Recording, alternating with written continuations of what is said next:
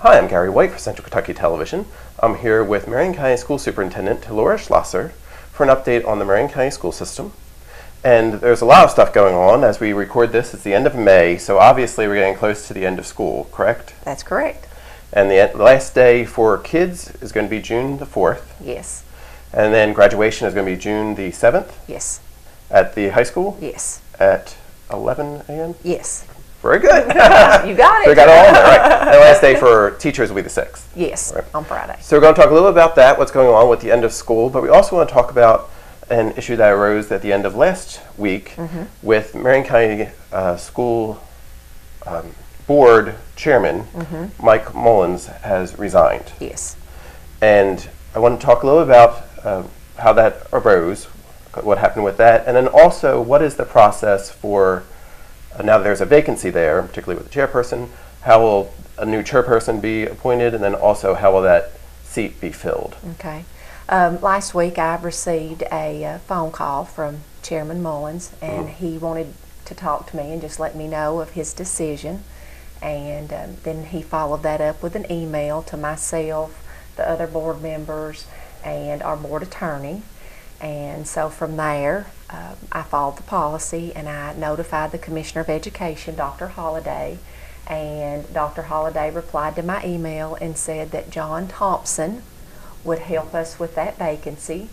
He's the same gentleman from the Department of Education who helped us with our last board vacancy with Ed Hacker. And so from that process, I have learned that, you know, you notify the Department of Education, they, they will get back to us. We will advertise in the newspaper for a couple weeks and take applications. So anyone that's interested in doing that will fill out the proper paperwork and then it will be submitted to KDE. And then actually what happens is uh, the folks there will actually look at all the applications, they'll come down, they do all the interviews, and then someone will be appointed. In this instance, this, this vacancy is actually for a board member who will actually be up for reelection.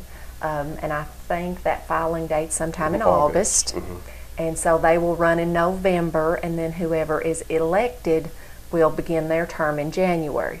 The person that is appointed will fulfill this term, which will be through the end of December.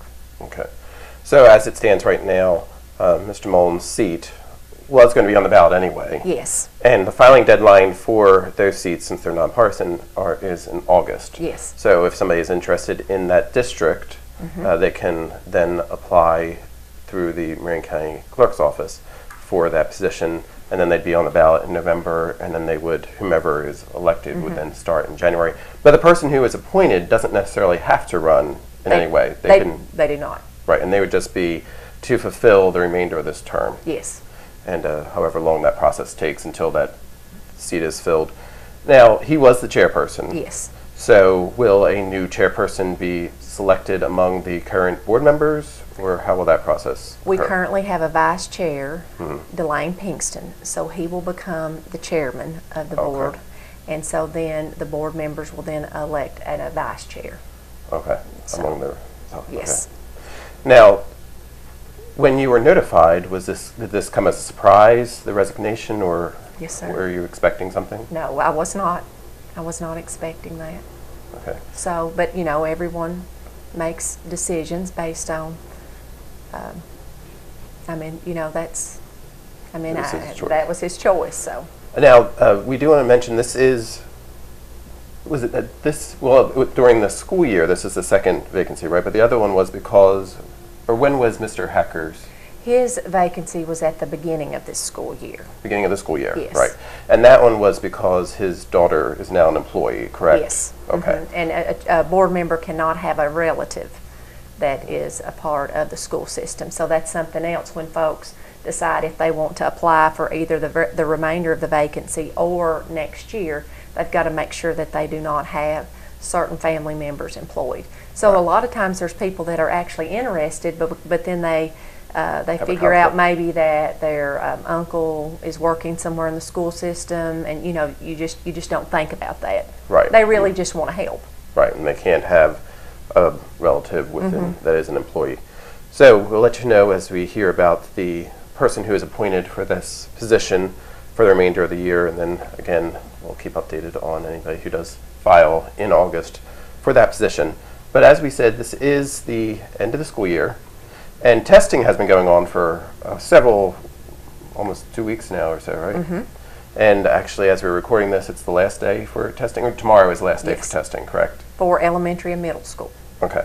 And that's the state testing? Yes. How's it been going so far? So far, it's been wonderful. All the kids have been focused. The teachers been focused. Been very quiet. Everyone's been really excited. I've heard kids say, you know, make sure I get breakfast in the mornings. You know, principals have been really good about keeping uh, keeping kids motivated. And so when we end tomorrow, we will only have four days of school remaining. Uh, now, at the middle school and high school, of course, kids are still going to be doing things like finals and end of course exams. Uh, so that that's always, uh, you know, that that really keeps our secondary kids motivated and engaged uh, because the high school will actually give finals the last two days of school. So, and I know uh, middle school will do that as well. Elementary, with only four days remaining, uh, of course, we've got some kids that are doing some walking field trips or maybe some things like that. But I know a complaint in the past was that testing started so early, and then what do you do with the rest of the year? It gives us the maximum amount of time to get our content in, mm-hmm. and then just a few days at the end of the year to, you know, wrap things up. You know, if kids need to do some makeup work, I know at the high school there are kids that are maybe doing some retakes mm-hmm. just to make sure that they have the grade they want in the class, make sure their GPA is where they want it to be, make sure they're, you know, going to be promoted on to the next grade. So, Have you seen any, and we had a very hard winter, have you seen much of an impact of the sporadic scheduling just because of snow and stuff? Has that really impacted some of the students' results that they're seeing? Have you noticed any kind of impact from that? No, I, I actually we've been very pleased with our attendance. Um, um, we have been very pleased with um, you know our AP exam work. We've had very few kids that have missed. You know that have to make up anything. Uh, I was really pleased that we had an opportunity to use Memorial Day yesterday as a Memorial Day.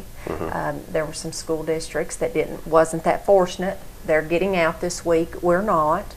Uh, you know, every district has different things they can do.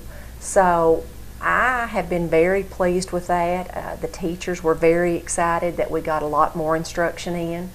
We had to do things a little bit different because of election day. Now, some districts went to school on election day, but we actually have three schools that are still used as polling for polling.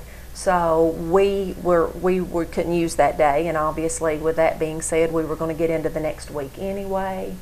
Uh, I mean, I, I think we made the best of the worst winter I've seen in a long time. And just hope that next winter's not like it. exactly, exactly. So we're wrapping up, getting ready for the end of school here in Marion County. Again, the last day for the students will be on the 4th. The teachers will be the 6th. Graduation will be on the 7th. And just to kind of tease them, when's it going to be the beginning of school next year? Actually, it's going to be the first Wednesday in August. Okay. And I can't I can't see the calendar right in front of me. That's first Wednesday. But um, it's that first Wednesday of the first full week, and you know, just to, to simply state it, we have about eight weeks of summer. So we're going to look up, and we'll be doing another interview, Exactly. and we'll be talking Okay. about the beginning of school, and uh, we do have a couple summer school programs running for elementary, middle, and high school. So we want to keep Mm-hmm. that learning going. Um, so I mean, it'll be here before we know it. Absolutely, And then we'll, and then before we know it, we'll be talking about snow days again. Exactly, exactly, but hopefully not too soon. okay, I've been talking with Taylora Schlosser, who's the Marion County School Superintendent, for the Ask the Superintendent segment here on Central Kentucky Television. Thank you very much. You're All right. welcome. Thank you. All right, this has been Gary White for Central Kentucky Television.